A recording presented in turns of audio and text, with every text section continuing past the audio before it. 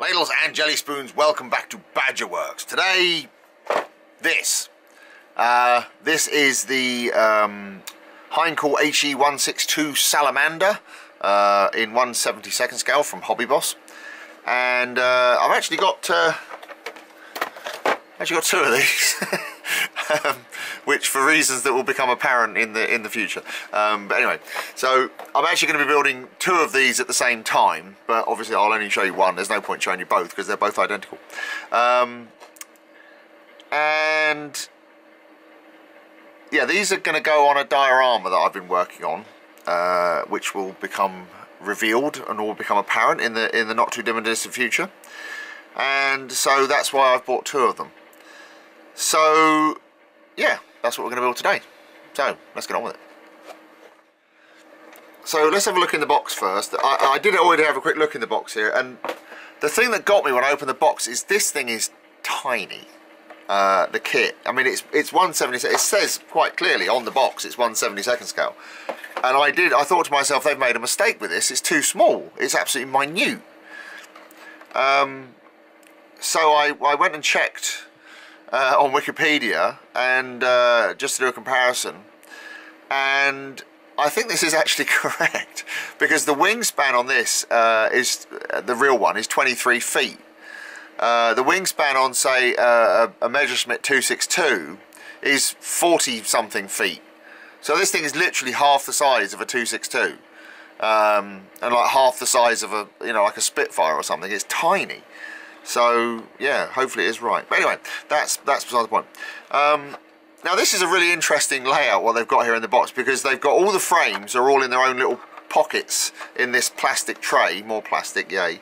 Um, and it is very, very simple. So the whole front half of the fuselage and the cockpit is one piece. Uh, the wings and the rear of the fuselage are one piece. Um, and then you've got another frame here with a few with like the the engines and bits and pieces on and then another frame for the for the cockpit glass. Um, so that's all fine. It will actually work for what we're going to do. I mean it's you know um, not the end of the world. So let's take this out for a second. Uh, it has a decal sheet. It actually has two quite interesting schemes because there's a German one and there's a Russian one uh, and I think it's actually yeah so there's the uh, the layout for the for the decals. And it's um, so you've got a German scheme here and then obviously the the Russians captured some painted them up in their colours and uh, yeah and away they went. So uh, yeah there's there's a Russian colour scheme which is quite interesting. Um, but uh, yeah so the instructions are alright not too bad. Um, it's literally like there's two steps. That's it. It's like yeah here's some bits put them together. Um, I think the one thing that's going to be possibly interesting is that I want to have the undercarriage up whereas this is obviously designed to have the undercarriage down so I think we're going to have to make some modifications. But uh, that's not the end of the world. Um, and the other problem that we have is because I want to display it in flight, there's no pilot. The cockpit is very, very basic. So I think what I might do, and I think I can get away with it, is I might spray the inside of the canopy black and make it look like um, tinted glass. But uh, we'll cross that bridge when we come to it. Anyway, let's uh, let's get on with it. So um, this is quite an interesting uh, setup here because it's basically a case of taking almost every part off of the frame uh, to begin with. Um, one of the things I have found almost immediately with this is there are quite a lot of nasty seam lines that are going to have to be dealt with. Um, I mean, it's like here on the side of the fuselage, for example, there's a really nasty seam line there. I mean, considering this is a fairly new kit, um, there's going to be quite a lot of seam lines to deal with, but that's fine. We'll clean all those up and then um, and then get on with it. So we'll do that first. Um, so once all that's cleaned up, I can start putting the uh, undercarriage together. Now, as I mentioned, I want to show the undercarriage up on this. So uh, what I'm actually doing is cutting off the uh, the tabs that uh, fit them in place and just making some very minor modifications um, to make them fit in this closed position and then using the cut off bits of the uh, of the uh, undercarriage flaps to uh, fill in the holes. So it actually works quite well. So and the same uh, with the front uh, same thing again. It's uh, there are some fairly nasty gaps but we can deal with those later. It's not the end of the world. Yeah, it's the same um, deal as before. It's basically just filling in the gaps using the the bits that I've cut off to uh, good effect, and then we'll put some filler on it later. Um, once that's all dry, I'm using a, a, sanding sponge here. It's quite an aggressive sanding sponge. It's a, like a 220 grit or something like that, and uh, just flattening everything out to um, get everything level and then uh, any gaps that are remaining we can uh, we can fill in afterwards really just to um, give us a head start as it were when it comes to fitting everything together and and uh, getting rid of some of these rather nasty gaps but yeah we'll deal with that in a moment and to deal with said gaps we're going to turn to our old friend uh, Mr Dissolved Putty uh, this really is very useful stuff for um, for this kind of work. I mean, there's obviously all kinds of different putties you can use, but I I like using this stuff. It's uh, it's so easy to use. Just put it on with a brush. Um, just you know, dob it on to to fill in the the holes and whatnot, and then. Uh, there's a little trick that I've showed you before, but it never hurts to repeat it. That um, basically put the stuff on, leave it for about 15, 20 minutes, let it set up a little bit, and then there's a, a nice little trick to uh, to make it smooth and that's basically to take a cotton bud with some uh, isopropyl alcohol on it and um, just rub it over the surface and what it does is it removes any excess smooths out the remaining um, filler and you don't have to sand anything. It makes life so simple. It's it's a great way of dealing with it.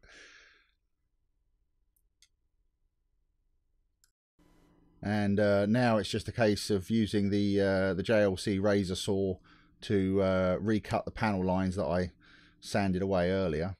Um, there are all kinds of tools you can get for rescribing panel lines, but I find this razor saw does the job very very well. Um, so yeah, it's always worked for me. I don't bother using anything else. And now we can start painting. So we're going to start with the uh, the cockpit and the inside of the engines and various other bits, uh, just to um, get those hidden.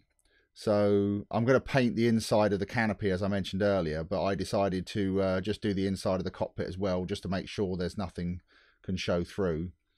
And then uh, doing the inside of uh, the engine, um, you can't really see inside the engine once it's together, but it, it never hurts just to give it a, a coat of black just to make sure. And uh, these are the uh, the various internals of the engine. There's only these two bits really, so um, they're fairly straightforward. Just give them a coat of black. And uh, as I said, the inside of the cockpit. You see, I've already masked the cockpit up in case of any overspray on the outside, basically. Um, but yeah, just give it a coat on the inside and now just uh, going over the um, the engine parts with some Citadel chainmail. It's it's basically just like a really heavy dry brush, um, just because I didn't want it just plain black. Uh, I wanted it to look a bit more kind of futuristic and shiny. So again, you can't really see these once they're fitted, but it never hurts to put some paint on. And now we can start putting the engine together. So it's very simple. I mean, the engine is basically like the two halves and then the, the front and the back. That's all there is to it. Um, so just pop those bits in, glue them in, and then um, glue the other side on. So there really isn't anything more to it than that. So yeah, it's uh, they the sides of the engine actually were a little bit tricky to line up. I had to do quite a lot of cleanup afterwards um, to clean up those seams. But um, again, not the end of the world. Very basic stuff. Um, so yeah, that's the engine done. And now we can move on to fitting basically the rest of the plane together.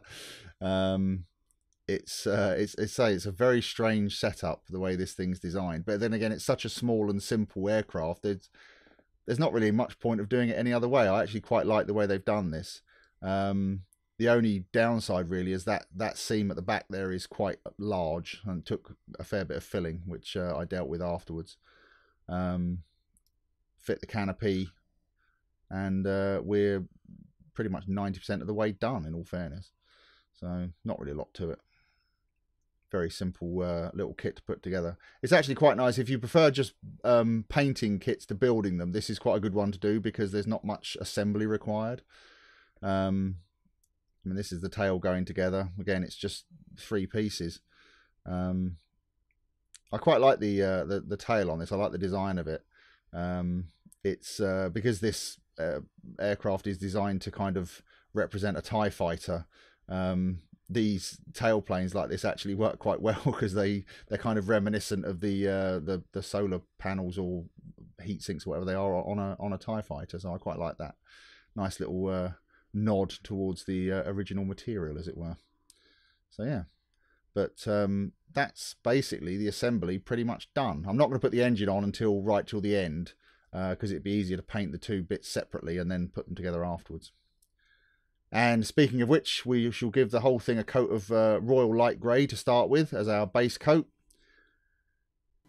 So uh, yeah, this is just um, slightly different to what I did with the uh, the Messerschmitt, the 262. Um, I'm just giving this a, a, light coat of this grey first, and then what I'll do is I'll go over the panel lines and whatnot with this field blue, uh, a very thin down mix. It's uh, basically like a, a 20 percent, eighty percent mix, and just go over the um, the the various panel lines and bits and pieces just to uh, create some some shadow lines.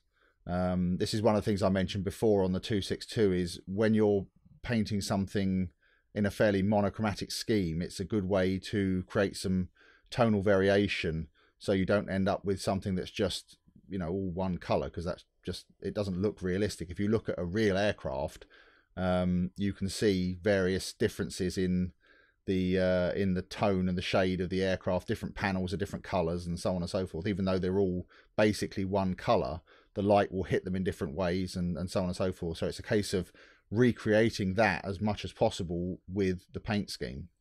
So the first stage of that is um, just darkening the panel line slightly um, using a, a suitable darker colour. And conversely, we're now going to go to our old favourite, the uh, the deck tan, um, and we'll use that to uh, highlight the panels.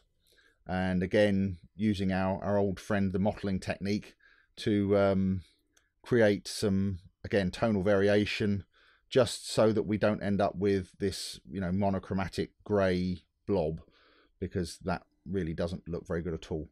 So once all the panel lines are done, we can go over the panels themselves um, with the deck tan, and that will give us a little bit of highlighting.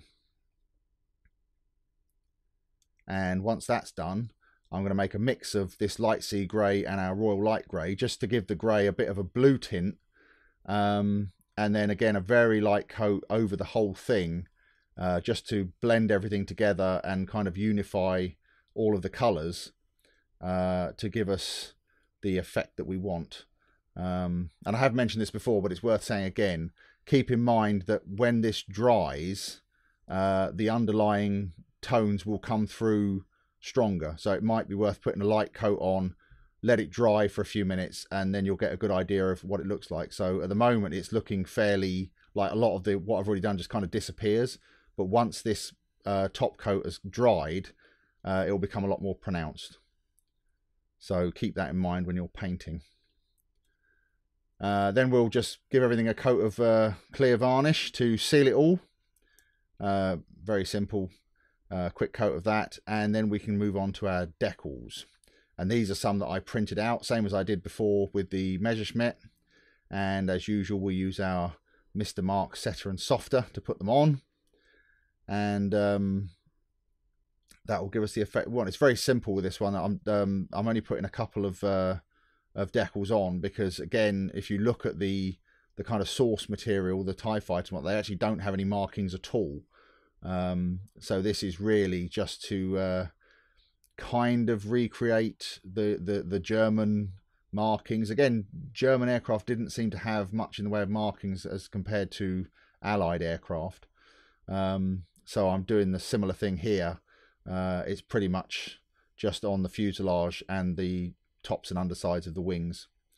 So these are just going on as any decal would normally. The only thing with using these custom ones is you have to cut them out uh, quite close to the actual um, marking so that you don't get, you know, a big load of like overhang of the material. Although I have to say these uh, custom decal sheets are actually very good. I mean, they're just cheap ones from eBay, but they um, they actually work really well. They're very very thin, but they're very strong, and they uh, they go on really nicely, and they conform to any like panel lines and stuff like that really well. I'm I'm I'm very pleased with the way these things work out.